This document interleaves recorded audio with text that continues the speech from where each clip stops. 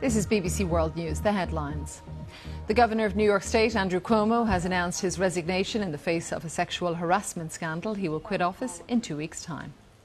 Aid organisations are warning of a humanitarian crisis in Afghanistan as hundreds of thousands of, of civilians have been displaced in fighting, which has seen the Taliban advance across the country. The group campaigning to free Dubai royal princess Latifa has disbanded after her cousin met her in Iceland and said she appeared happy and focused on her plans. A photo of the princess was posted on Instagram. And Lionel Messi, the world's best paid footballer, is moving to Paris Saint Germain. The Argentinian has played for Barcelona for more than 20 years, but had to leave the club for financial reasons. And they are your headlines on the BBC.